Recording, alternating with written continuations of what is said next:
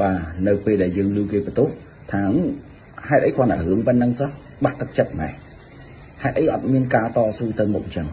ខ្ញុំចង់ប្រាប់បងប្អូនទាំងអស់គ្នាថា នៅក្នុងជីវិតរបស់មនុស្សនៅពេលដែលបាក់ទឹកចិត្តមិនមែនគាត់មិនផ្ដល់ឱកាសខ្លួនគាត់ទេពេលខ្លះរឿងមួយដែលគាត់ផ្ដល់ឱកាសខ្លួនគាត់គាត់ផ្ដល់4 5ដងទៅហើយប៉ុន្តែកត្តាដែលផ្ដល់ហ្នឹងនេះ គឺវាអត់មានបានផលមកវិញវាលទ្ធផលដដែលជាដដែលអញ្ចឹងធ្វើឲ្យមនុស្សនោះបាក់ទឹកចិត្តលែងចង់បន្តលែងចង់ទៅមុខចាប់ដើមចង់រកផ្លូវថ្មី និងអ្វីដែលជាល្អប្រសើរជាងមុនមិនថារឿងស្នេហារឿងការងាររឿងរកស៊ីជីវិតគ្រួសារគឺជួបបែបផែនដូចគ្នាឱកាសចាប់ដើមផ្ដល់តែ4ទៅ5ដងបើសិនជានៅតែដដែលនរណាក៏ដូចជានរណាដែរគឺចង់បញ្ចប់ហើយលែងចង់ទៅមុខហើយស្ថិតនៅក្នុងស្ថានភាពវិបត្តិ សេដ្ឋកិច្ចសកលនិងស្ថានភាពសុខុមាលភាពសកលនេះដែលជាអត្តពលដោយកូវីដខ្ញុំមានទស្សនៈមួយក្នុងការលើកទឹកចិត្តបងប្អូនទាំងអស់គ្នាគាត់ថាអឺយើងគួរតែប្រយ័ត្នបាទប្រយ័ត្នខ្លាំងមែនទែនអំពីវិបត្តិហិរញ្ញវត្ថុនៅក្នុងដៃរបស់យើងបើអាចធ្វើទៅបាន ទី1យើងគួរកុំ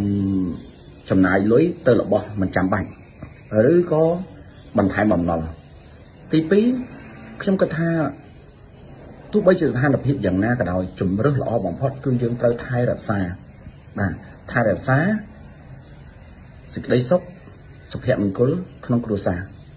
រឿងសេចក្តីសុខសុភមង្គលក្នុងគ្រួសារនេះមិនមែនសំខាន់ទៅលើលុយទេបាទសំខាន់ការយល់យោគការយល់គ្នាកត្តាទី3គួរបងប្អូនប្រើលុយក្នុងដៃ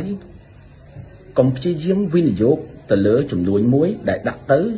ដែលរងចាំប្រើពេលយូរបានបានផល នេះបើសិនជាយើងមានទុននៅក្នុងដៃច្រើនយើងវិនិយោគទៅវាមិនអីទេតែបើសិនជាយើងអត់សូវមានទុនច្រើនផងខ្ញុំគិតថាយើងគួរកុំគួរកុំយកលុយរបស់យើងដាក់នៅក្នុងរយៈពេលវែងពេកយើងគួរតែយកទុនរបស់យើងទៅធ្វើអាជីវកម្មខ្នាតតូចសិប្បកម្មខ្នាតតូចត្រឹមតែមួយខែពីរខែបីខែបានផលនោះជារឿងប្រសើរពីព្រោះការជួបវិបត្តិសកលនេះវិបត្តិហិរញ្ញវត្ថុនេះមិនមែនតែយើងមិនមែនតែមួយក្រុមតូចទេគឺជាលក្ខណៈសកលកតាសព្ចានមិន ដូច្នេះ